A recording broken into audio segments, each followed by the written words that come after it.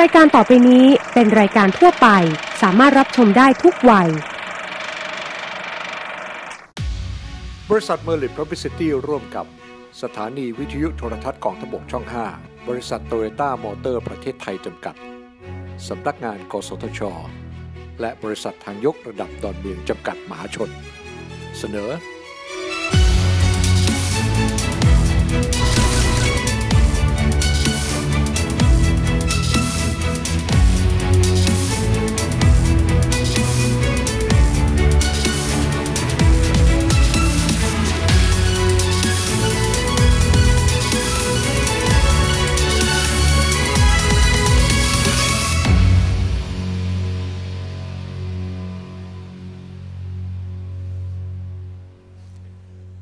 สวัสดีครับคุณผู้ชมครับนี่คือรายการหมุนตามโลกหรือ Eyes on Globe วันนี้เราได้รับเกียรติจากท่านประธานกรรมธิการ ประธานนุกรรมธิการยุทธศาสตร์ชาติ และปฏิรูปประเทศ ท่านพิเชษเชื้อมืองผ่าน และอีกตำแหน่งหนึ่งท่านเป็นรองประธานกรรมธิการคนที่หนึ่งในเรื่องของความมั่นคงแห่งรัฐ ยุทธศาสตร์ชาติ การปฏิรูปประเทศ และกิจการชายแดน นี่คือหัวใจสำคัญที่วันนี้เราจะคุยเรื่องของคลองไทย 9A ผมถือว่าวันนี้ เป็นจะเป็นบริษัทหน้าใหม่ของประเทศ เป็นทางรอดทางออกของประเทศ ที่จะทำให้ประเทศนั้นหลุดพ้นจากวิกฤตเศรษฐกิจได้อย่างชัดเจนและเป็นรูปธรรม สักครู่กลับมาติดตามเรื่องนี้กับท่านประธานพิเชษเชื้อเมืองผ่านนะครับ สักครู่เดียวครับ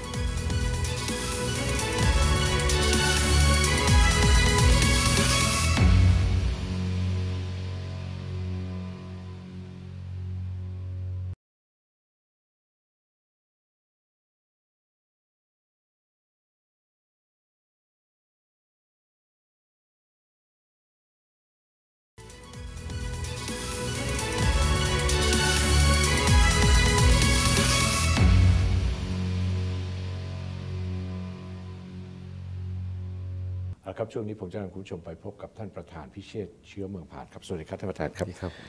ก่อนอื่นผมดีใจมาก ที่ท่านจะปลุกให้เกิดบริษัทหน้าใหม่กับประเทศ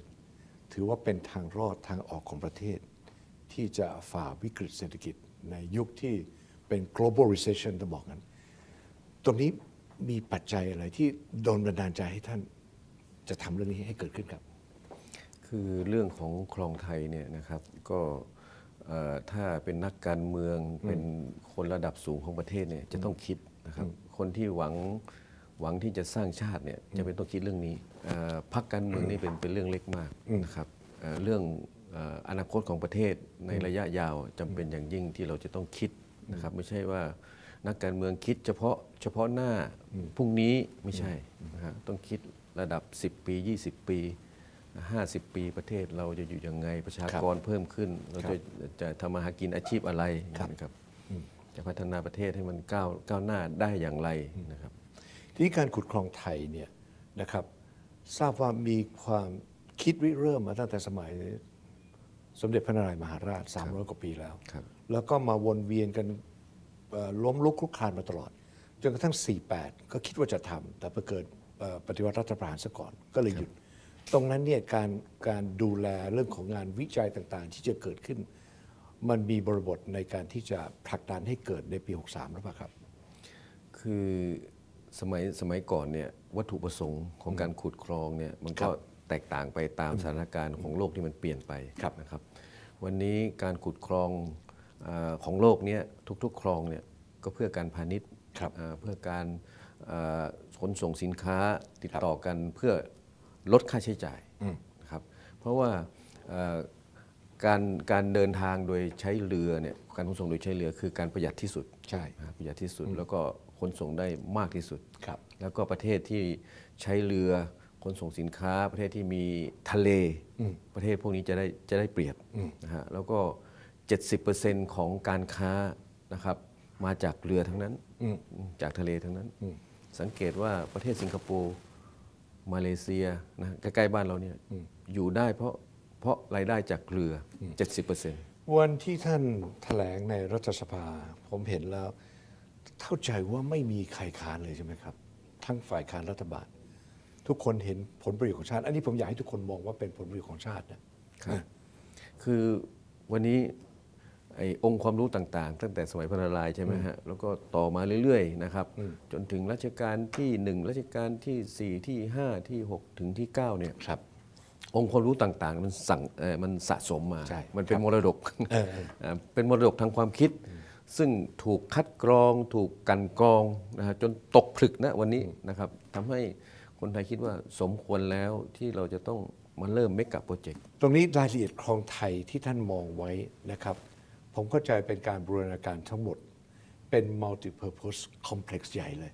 เป็น metropolitan town เลยก็ได้ เป็นเมืองที่จะเกิดขึ้นใหม่ มีทุกอย่างพร้อมสับเนี่ยบริบทตรงนี้วางไว้ยังไงครับ master plan ที่เห็นเนี่ยคือในอดีตเนี่ยเราพูดเฉพาะขุดคลองนะฮะขุดคลองขุดคลองเนี่ยการขุดคลองเนี่ยถ้าถ้าไปทำรีเสิร์ชนะครับ ก็อาจจะไม่คุ้ม ไม่คุ้มนะก็แค่ทุกนแค่เดินเรือไม่ข้ามผ่านไม่คุ้มเรือผ่านไปผ่านมา ใครใครไปวิจัยก็ไม่คุ้มเออยังไงมันก็คือการเดินเรือการขุดคลองเนี่ยไม่ไม่ใช่ว่าให้ให้เฉพาะให้คนอื่นประเทศอื่นมาผ่าน แต่เราต้องได้ประโยชน์เออ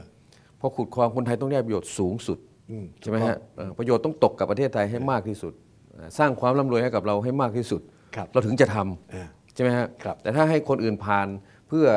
การทหารเพื่อการขนส่งอำนวยความสะดวกให้เขานี่แล้วเราไม่ได้อะไรเนี่ยไม่ทำเออครับนั้นประโยชน์ทั้งหลายจะต้องตกกับประเทศไทยให้มากที่สุดเออยังมีรายได้ที่จะเข้ามาอีกมหาศาลไม่จะเป็น entertainment complex มีหน้าศูนย์การเรียนรู้ น่าจะบอกว่าอย่างเอ่อมหาลัยที่ท่านจะตั้งอยู่เนี่ยมหาลัยการเรียนรู้นะครับเดี๋ยวจะไปลงในเรื่องของบวกกับ น่าจะเชิญ MIT ระดับโลกมาดีไหมเรื่องของวิจัยพัฒนาทำให้เราเป็นศูนย์วิจัยยิ่งใหญ่หน่อยสักทีแทนที่จะตกเป็นทาสเทคโนโลยีของต่างชาติคือซื้อเป็นอย่างเดียว ไม่มีอะไรเป็นของตัวเองเลย ในเรื่องของเทคโนโลยีเหล่านี้ตรงนี้ท่านท่านพิเชษฐ์วางไว้ยังไงครับ คือในโลกนี้นะครับเขตเสรีพิเศษที่ประสบผลสำเร็จมากที่สุดก็ครับคือเซินเจิ้นนะฮะที่ประเทศจีนณครับวันนี้นะครับใช่เป็นเป็นอันดับหนึ่งทีนี้กระบวนการคิด และวิธีการทั้งหลายของเขาเนี่ยครับเอ่อที่นำไปสู่ความความเจริญของเขตเศรษฐกิจพิเศษครับที่แซงหน้าฮ่องกงไปเนี่ยครับนะครับเอ่อเขาไม่มีคลองนะฮะอ่าเขาเขาเขามีเพียงท่าเรือ แล้วก็ความพิเศษของเขตนี้เออดังนั้นเนี่ยเราก็จะยกเซินเจิ้นนะครับยกฮ่องกง ยกสิงคโปร์นะครับเป็นต้นแบบเป็นต้นแบบแล้วก็เอามาวางไว้ที่ 5 จังหวัดนี้อืมแล้วพิเศษที่สุดก็คือ เรามีคลอง เอออ่าซึ่งคลองของเราเนี่ยเป็นเป็นที่สุดท้ายของโลกเอออ่าที่กำลังจะทำคือในโลกเนี้ยที่ที่คลองทั้งคลองทั้งช่องแคบเนี่ยมีอยู่ 8 แห่งเรียบร้อยหมดแล้วนะครับมีเอ่อมีข้อดีข้อเสียแตกต่างกันไป แต่วันนี้คลองไทยเนี่ยแนว 9A เนี่ยเราเอาทั้ง 8 แห่งมารวมกัน แล้วเอา เอาข้อดีทั้งหมดมา ข้อเสียแก้ให้หมด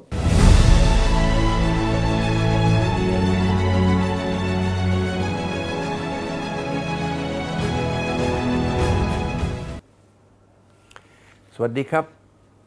แฟนรายการทุกๆคนนะครับ วันนี้ผมมีคาถาชีวิต ชื่อคาถาวิกรม ซึ่งเพิ่งออกใหม่นะครับ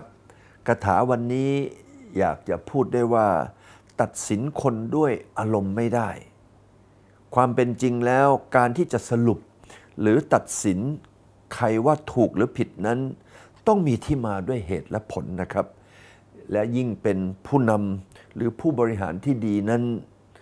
ยิ่งต้องเป็นกลาง มีสติไม่เห็นแก่ตัว และต้องไม่มีความอ่อนไหวทางอารมณ์ไม่นำเอาความรู้สึก ชอบ หรือเกียดมาเป็นที่ตั้งนะครับ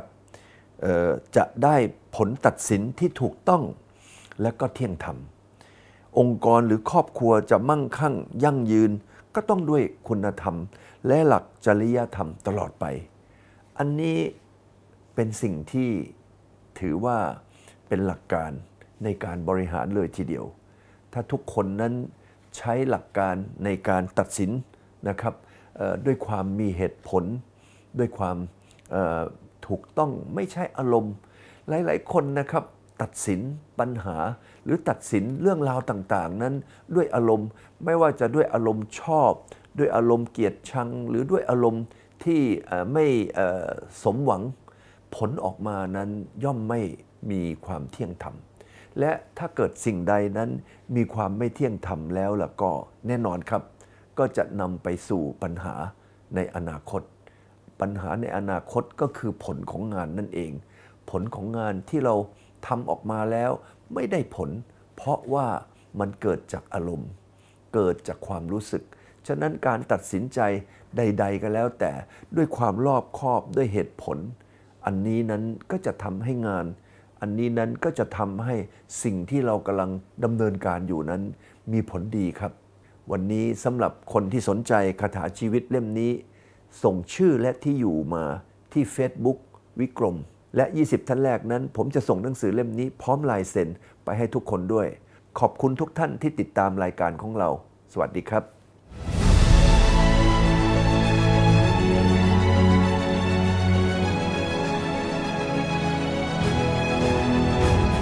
เรียกว่าดูทั้งสิ่งที่เป็นประโยชน์และสิ่งที่ เป็นอุปสรรคเราจะตัดตรงนั้นไปหมดครับแล้วเอาทั้ง8แห่งนั้นมารวมกันครับผมซึ่งจะถือว่าเป็นคลองที่รับเรือได้ใหญ่ที่สุดในโลกด้วยตรงนี้ครับครับ นอกจากนั้นเราจะทำอะไรครับ ก็ก็เอ่อเบื้องต้นเนี่ยที่สว 248 เขาศึกษาไว้เนี่ยครับเขาก็ศึกษาเบื้องต้นไว้ว่าเอ่อคลองเนี่ยก็กว้าง 350 เมตรนะฮะแล้วก็มีจุดกลับเรือก็คือกว้าง 400 เมตรครับเอ่อลึกก็ เอ่อ30เมตรครับนี่นะครับ ทีนี้พอมาถึงวันนี้เนี่ยเทคโนเทคโนโลยีเนี่ยมันมันก้าวหน้า มันไปเอ่อมันไปแล้วก็ไกลแล้ว ปรากฏว่าเรือที่ใหญ่ที่สุดในโลกเนี่ยเอ่อห้าแสนตันห้าแสนตันแล้วกินน้ำลึก 35 เมตร เออเอาเลยทีนี้เออเราจำเป็นจะต้องขุด 40 เมตร เอออ่าเพื่อให้เพื่อรองรับอนาคตด้วยรองรับอนาคตแล้วก็เรือทุกลำในโลกนี้สามารถผ่านไปได้เอออ่าแล้วก็ไม่ต้องมาสวนกันเออใครเอ่อคลองนี้เรือไปคลองนู้นเรือมานะฮะไม่ต้องไม่ต้องมาสวนกันทำให้นะครับปลอดภัยแล้วก็สะดวกขึ้นรวดเร็วขึ้นปลอดภัยประหยัดเวลาสะกรวดขึ้นเร็วประหยัดเวลานะครับอ่าแต่ว่าจะอยู่ในประเทศไทยหนึ่งร้อยสามสิบห้ากิโลเมตรนะณก็คือวิ่มีในประเทศจังหวัดไหนบ้างครับ ตรังกระบี่พัทลุงนครศรีธรรมราชและสงขลาครับผมไปอห้าอกจังหวัดที่ที่ที่จบที่ระโนดครับจังหวัดสงขลาคือคืออย่างนี้นะฮะคลองเนี่ยเอ่อความกว้างของคลองเนี่ยหกิโลเมตรครับคลองละ 1 กิโลเมตรเออแต่คลองสองคลองห่างกัน 10 กิโลเมตรเอออ่าโอ้ทำไมต้องห่างกันเยอะเออคือสเกลเนี่ยเป็นสเกลระดับโลกครับนะฮะถามว่าเอ่อผมจำเป็นจะต้องเวนคืนที่ดินเพื่อบริหารจัดการ นะครับเพื่อบริหารจัดการเป็นเขตสิทธิพิเศษเนี่ยเราเหลียดที่นิดนึงผู้ที่รับผลกระทบเป็นคืนที่ดิน แต่เขาจะมีความสุขยังไง เอาเรื่องเป็นคืนที่ดินก่อนเอาเอาเอาเอาเอาพื้นที่ก่อนนะอ่าพื้นที่เนี่ยความกว้าง 60 กิโลเมตร ความยาว 135 กิโลเมตรครับนะครับรวมแล้วเนี่ย8,100 ตารางกิโลเมตรโอ้โหใหญ่มาก 8,100 ตารางกิโลเมตรโอ้ยทำไมเอาเยอะขนาดนี้ เอ๊ะทำไมมันใหญ่ขนาดนี้ ที่อิสกันดาเขตเศรษฐกิจพิเศษของมาเลเซีย ซึ่ง จอครอบเกาะสิงคโปร์อยู่เนี่ยสามเท่านะครับสามเท่าของเกาะสิงคโปร์นะ2,000ตารางกิโลเมตรเออ2,000ตารางกิโลเมตร เกาะสิงคโปร์7เอ่อ700ตารางกิโลเมตรเองนะงั้นสามเท่าของเกาะสิงคโปร์นี่ครอบครอบเกาะสิงคโปร์อยู่นะฮะทีนี้มาเลเซียจะขยายเป็น 4,000 ตารางกิโลเมตร ก็ยังได้ครึ่งหนึ่งของเรา ก็ครึ่งหนึ่งของเรา ดังนั้นเนี่ย8,000 ตารางกิโลเมตรนี่มันเป็นไปได้ไหมเป็นไปได้ เพราะมาเลเซียจะเอา 4,000 แล้วเออ รองรับอนาคตไว้เลยเรานะคบทำไม่ต้องดีกว่าต้องใหญ่กว่า มาเลเซียไม่มีคลองนะฮะถึงจึงดึงดูดอันนี้คือจะเป็นสิ่งดึงดูดนะครับ แล้วเรื่องของการประหยัดยังไงก็ประหยัดเออใช่ไหมท่านอะท่านท่านไปซื้อของอะหนึ่งร้อยบาท แต่ถ้าท่านซื้อได้ 80 บาท ยังไงก็ประหยัดใช่ไหมใช่อ่าดังนั้นเนี่ยคลองไทยต้นเนี่ยทุนมันถูกลงอะต้นทุนถูกกว่าแน่นอนเออเออยังไงเรือก็ต้องอนาคต ยังไงก็ต้องมาคลองไทย ไปเลิกต้นทุนการเดินเรือครับซึ่งเรามีตัวเลขอยู่แล้ว ท่านครัพิบเชษผมมีตัวเลขอยู่แล้วไม่ใช่เหรอครับอะทีนี้ดูแลพวกที่ต้องถูกเวรยกคืนตัวต้องย้ายถูกเวรคืนยังไงฮะการเวรคืนในครั้งนี้เป็นการเวรคืนที่ใหญ่มากนะครับ จะต้องมีกฎหมายเวรคืนโดยเฉพาะของที่นี่เป็นกฎหมายพิเศษพิเศษของที่นี่ ซึ่งไม่ไม่เคยมีมาก่อนในประเทศไทยครับนะครับแม้ EEC ก็ก็ไม่เท่าการเวรคืนในครั้งนี้ การเวรคืนครั้งนี้ให้สิทธิและเสรีภาพ ของคนในพื้นที่ 5 จังหวัด ตัดสินใจเอง อยากจะได้อะไร อยากจะมีอะไรท่านบอกมา เพราะว่า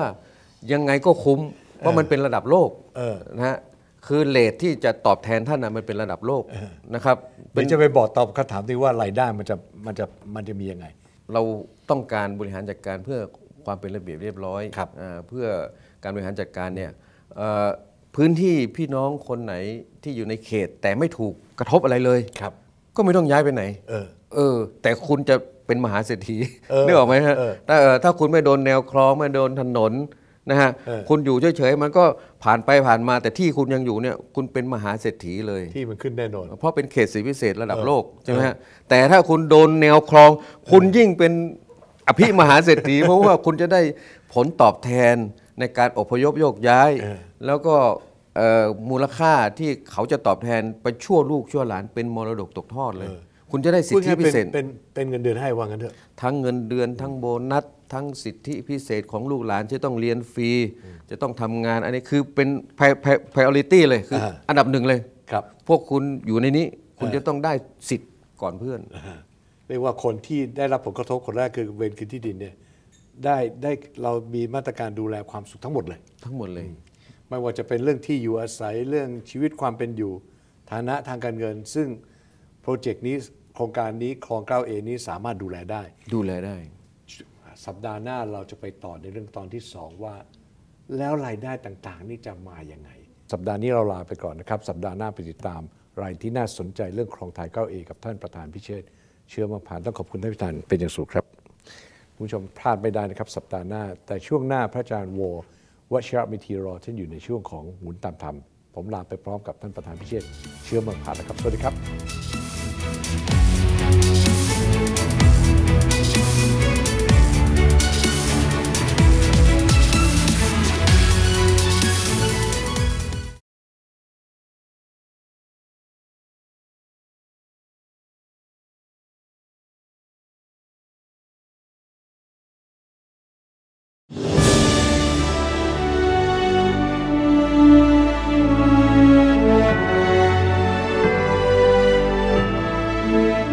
การทำบุญที่สำคัญที่สุดก็คือประการที่สิบที่พระพุทธองค์ได้ตรัสเอาไว้ว่าทิฏฐุชุกรรม แปลว่าการทำความเห็นให้ตรง การทำความเห็นให้ตรง ก็หมายความว่า การปรับความคิด ปรับความเห็น ปรับความเชื่อ ปรับความเข้าใจของเรา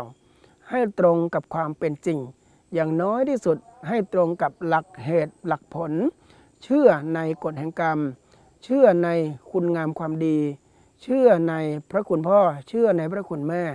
เชื่อในพระคุณของครูบาอาจารย์ พูดสั้นๆว่า